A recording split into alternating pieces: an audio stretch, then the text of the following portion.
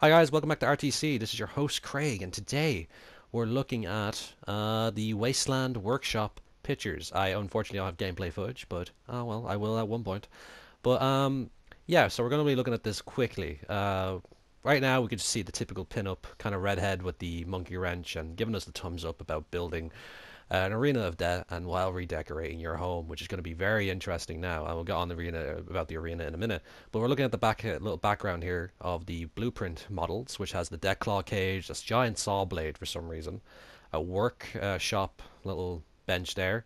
It looks like a foundation or a trap blueprint on the top left, and then in the middle uh, top there's also a turret there. So we might be getting new turrets, or that could either be a new searchlight of some sort, but who knows. But anyway, I'm just waiting for the picture to pop up. Here it is. Now we're looking at the Deathclaw, live Deathclaw fights picture, which actually looks really cool. We have this giant Jurassic Park looking cage with a Deathclaw inside of it. Which is going to be very interesting to build. It's going to cost a lot of steel, I can imagine. And then we also have the sensor units that we have to access traps already, and like the flamethrower traps. Then we have these little fire pits as well next to us, as well, which is going to be added in, which is quite nice finally. Then we have the lanterns and candles as well at the bottom there. And then we have this little podium as well where our Wastelanders there with uh, laser musket and power armor. And then we can look at the back there. We can see the live Deathclaw, deck claw fight signs, which uh, you can have an individual uh, alphabet now on lights and hopefully be able to change the color as well while you're at it.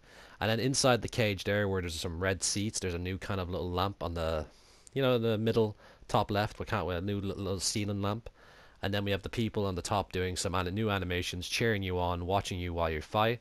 And then we see the top right of the cage there, well, the top middle of the cage there, there's like a little yellow uh, signal light for traffic there as well, and a new kind of power pole as well in the middle there, and the light as well behind one of the fire pits that looks very interesting indeed. But my main uh, concerns on the building in the back, which has now a semicircle kind of shape, circular shape to it now, and it looks like it's completely made of concrete and steel.